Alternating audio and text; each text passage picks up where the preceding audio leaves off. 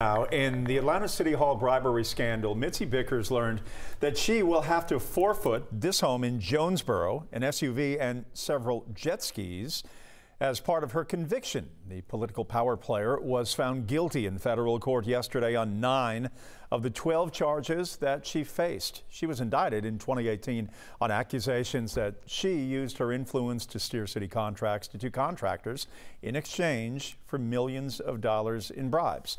Her sentencing is now scheduled for July 12th. Seven other people charged in this case already entered guilty pleas and learned their sentences.